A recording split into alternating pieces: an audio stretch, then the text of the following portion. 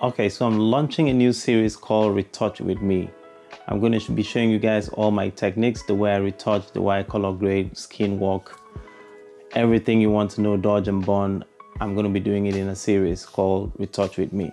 So it's going to be like every week, I'm going to be posting one video showing all my techniques when it comes to retouching. It's your favorite educator, Idongesit Usanga, aka The Dean, London-based fashion and portrait photographer. Some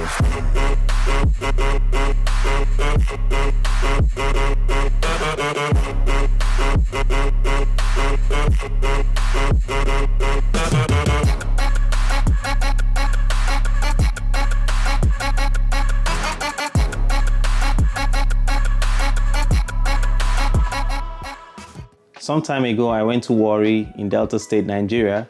I had a workshop there sponsored by my very good friend Solomon of Afe Studios. Um, you can see like the behind the scene, what it looks like. We had a couple of students there and I used a Godox, I can remember, I think it was a Godox AD600 and we had an 85 centimeter modifier attached to it and it was just one light so we're using the backlight was natural light you can see it was a very sunny day and um, we used the key light which was the Godox AD600 expose first of all for the background and then add up your key light. Okay so we're going to be retouching this image and partially probably color grading it because I'm going to do another video that has to do typically with just color grading the way you can tweak your colors the way you could um, color balance and also the way you could color grade because they are just two different things. Okay let's go straight to the point before I start let me take you through the hardware software and plugins that I use okay so um, in terms of hardware, I use the Intuos Wacom Pro, the smaller version. There, there's the medium, there's the large, but I use the small one. And of course, um, MacBook Pro. And in terms of software, I use Capture One Pro and Photoshop. Plugins, I use Infinite Color and Retouching Academy. Okay, so the first thing I do is to um, get to exposure warning which is this little triangle that you can see right here. Okay so when i do outdoor shoots basically especially on a very bright sunny day like this i like to check you know my exposure and see where it is overexposed and then i cut it down. So this is my exposure warning. Once you click that and capture one it shows you this red patches which signifies the area of the the image that is overexposed. These are highlight areas which are already blown away. The highlights are blown away. So I go to my highlights and I cut it down gradually till that disappears. I mean, this this part doesn't really matter to me because I'm going to take it out you know in the process. So I will just leave that there or if you want to you can just take it all the way down. So I take that and I'm very sure that I have details in my image. So it depends on what I want to achieve in the image. For this image I want it to be a very strong and very grungy kind of image. First thing I would do is to open up my shadows slightly a little bit and to compensate for the shadow that I've opened up I'm going to add a bit of contrast if you look at the image towards this part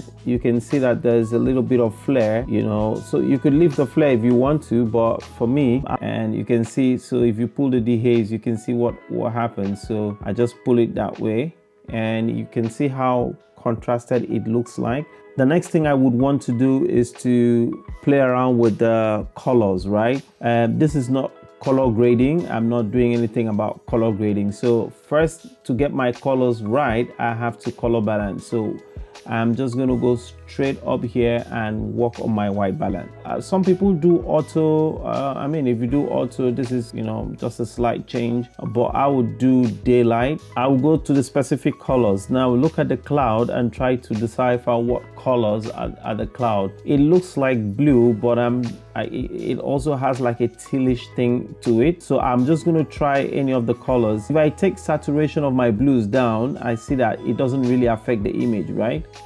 Just very slightly. If I go to my teal, that's the cyan looking one, and I take it down, you can see how it affects the image. So right, that's the color. So what I would do is to increase my saturation a little bit and then drop my lightness a little bit. You can see right there, you know, how that looks like already. And the next color I'm going to work on is the greens. So I go to the greens, uh, pop my saturation and then drop my lightness. For me, I like to work with individual colors. I do not just go to saturation and saturate the whole image. That's my own style. I like to work on individual colors and um, and tell the viewer what I want the viewer to see. Green is composed of blue and yellow, so there's a yellow color element in the greens. If you understand, you know, color theory. I'm just gonna pop my yellows a little bit and then drop my lightness. So right there you can see before and after, before and after. That looks great already. Basically i'm not to do too much you know with this. And capture one is just what I, I use to work on the raw files. And once i'm done working on the raw files you know i can just export it and take it to photoshop. And then that's when i finish what i'm supposed to do so basically i think this is this is it for me there wouldn't be anything else that i would want to do so let me just take it to Photoshop and then show you exactly how I'm going to finish the image. I'm going to right click the image here and then I'm going to say edit with Photoshop. First thing I would want to do, I would love to take out you know elements that I do not want in the frame. Let's start by going to the polygonal lasso tool and you can find that right here. Select you know that part of the image which you do not want and then I'm just going to press delete content aware and that click OK and that's just going to fill it automatically for you.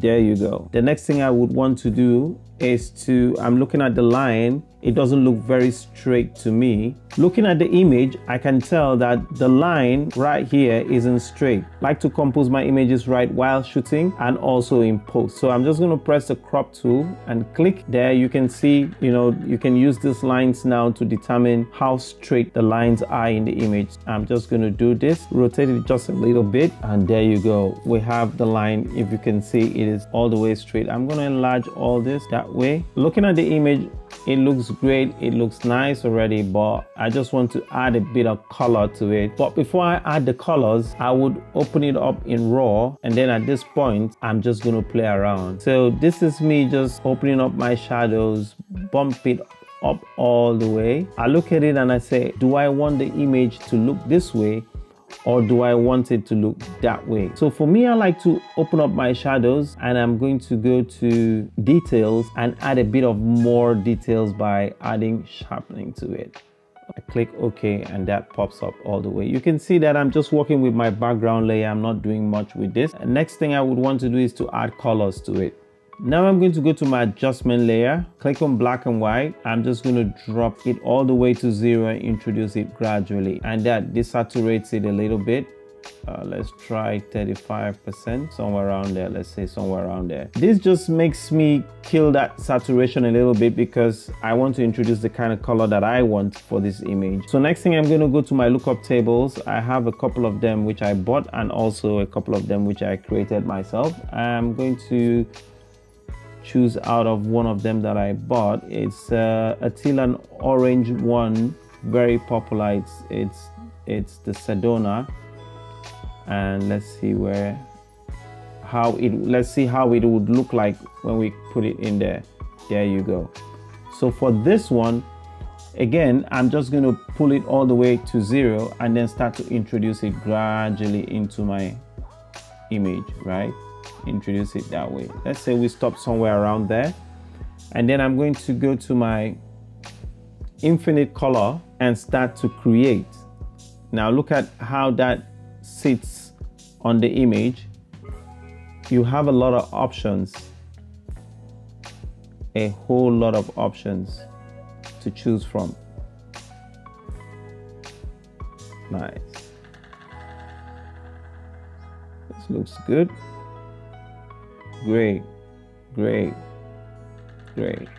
Remember, you can also reduce the intensity of the colors. You can also tweak because it opens up in a folder so you can tweak it the way you want to, right? There you go. Okay, so let's leave it at this one. So I'm going to take it all the way to zero and then introduce it a little bit. Again, I'm trying 35%. Okay. Looking at the image, I think I'm liking what it looks like. Let me just group this so you can see what the colors look like. This is what it was before and this is what it is right now. So the next thing I would want to do right now is to put a photo filter over it. So the reason why I'm putting a photo filter over it is just to blend everything together, right? So I'm just going to put a photo filter over it. Um, one of my favorite is underwater. You can also do deep emerald, whatever you want as deep blue, right? That, that, no, this one looks this one looks very nice. Anyway, whatever you want. I'm just gonna go with um, underwater. It's my favorite actually, so I'm always tilting towards it. So you can see from this, we just stylized it in terms of color and we got to this. I'm just going to quickly duplicate this image and I'm, I want to stretch what you can see in terms of the greenery, you know, the background and all that. So I'm going to do this filter, camera raw, and whatever I'm doing here is basically just for the background. So you can see that part, you know, where we have this this floor right here. So I'm going to increase my clarity, open up my shadows, add a bit of texture, and I'm going to say, now this is not for the whole image. I just want to do it in a selected part of the image. So press Alt down and click your layer mask tool. There you go. It takes you back to your original image. B is for brush. Okay. Click your brush tool and then you can start brushing what you did with the raw into that image. You see how detailed the floor looks like now. Let me just zoom in for you to see what it looks like. Okay, now see what it looks like. I'm bringing that details. Let me show you what it looks like before. Can you see before and after? So I'm bringing in all that here. All right, so nice. Right, I'm just gonna merge that one together and quickly i'm just going to show you what the before and after is like. So this is a nice image but then if you would want to stylize it you could do this I feel like it's slightly not as bright as I would want it to be. I'll just pop up the exposure a little bit. There you go. Right. So that's my image from Capture One all the way to Photoshop. In some other tutorial, I'm going to show you guys how I work on the skin, take out the blemishes, frequency separation, whatever it is. If there's anything you would want me to show you, just put the comments down there and then let's let's take it up from there. But for this I just wanted to let you know how I can transition my images from Capture One and take it all the way to Photoshop.